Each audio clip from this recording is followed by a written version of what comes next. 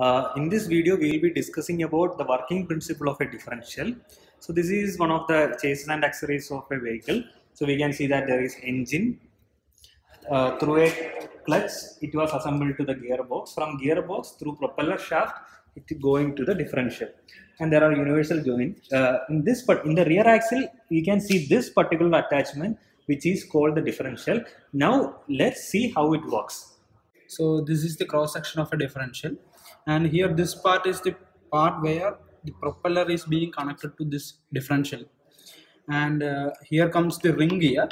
A ring gear means this propeller after this propeller there will be a helical gear and that gear will be connected to this uh, ring gear. So inside this these gears this these are side gears. This gear will be connected to this right hand side wheel and uh, this will be connected to the left hand side. And these are the spider gears. And what happens is initially the propeller will be rotating. At that time this is the uh, ring gear. Ring gear will be rotating. So along with the ring gear every inside components will be rotating. And if we are noticing it we can see that when it is moving in the straight line these are the side gears.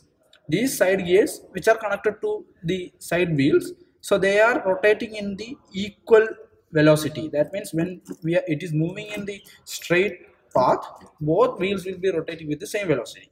Now what happens is here this spider gear spider gear this spider gear has a peculiarity. It can rotate on its own axis. Look we can see here. So this gear can rotate in its own axis.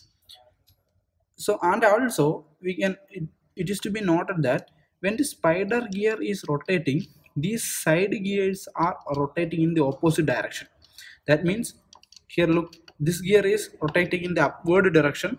When looked from this direction this is rotating in the downward direction. And this peculiarity is made used to give different velocities to the wheel, uh, uh, wheel. when we are taking a curve say we are taking a curve to the uh, right side. When we are taking a curve to the right side this left hand side wheel should move with much more velocity than the right hand side. So rpm of left hand side should be more.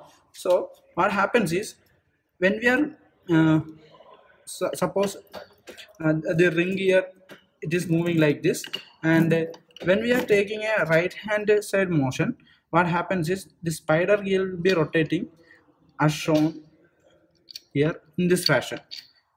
That means the spider gear will make this left hand side uh, gear to move in the upward direction and the right hand side to move in the downward direction. So when we are looking at the net velocity the ring gear is moving upward but this right hand side is moving downwards. That means the net velocity rpm at this side will be lower. But here look here this right hand side is moving upward along with this one so here the net velocity will be much higher so that the wheel at the left hand will experience more RPM when compared with the wheel at the right hand side.